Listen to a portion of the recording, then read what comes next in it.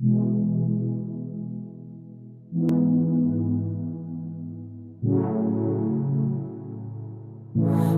got trapped in your eyes the moment you looked at me from across the room. Those eyes kept following.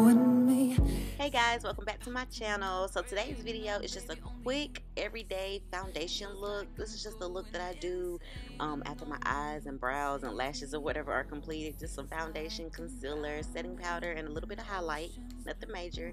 So yeah, I'm to try to list all the products that I use in this video and make this video short, quick, and simple.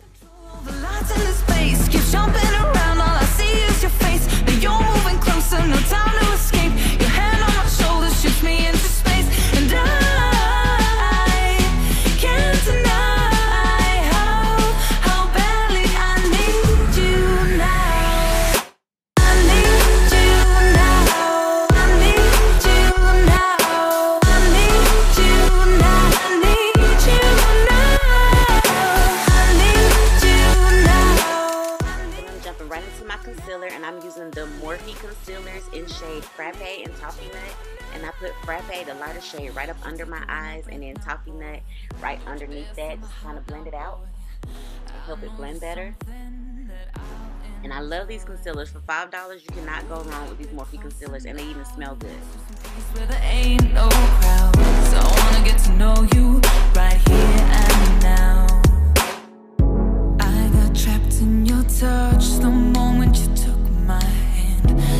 Me all the way to the ocean sand. You told me don't worry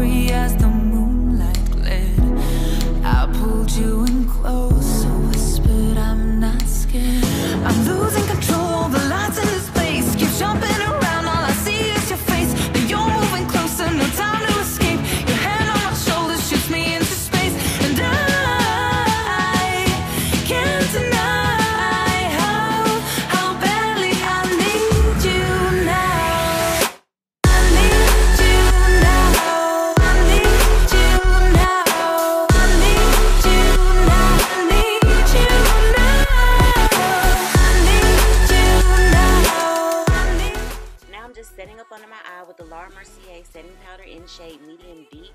This is great for women of color and darker skinned girls who don't want any flashback or any overly bright highlight.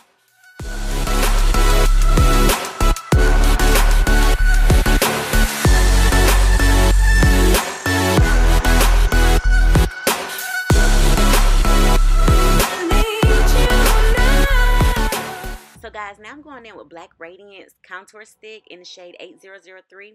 And I just use this to kind of define my contour a little bit more before I set it with powder.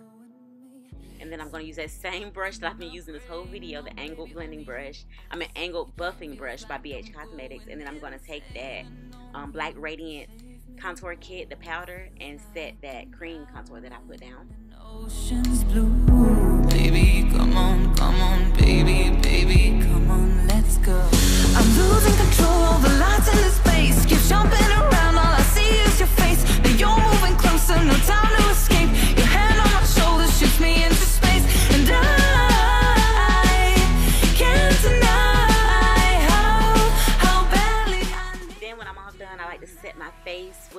L'Oreal Infallible Pro Matte Powder in the shade Cocoa, which is the darkest shade.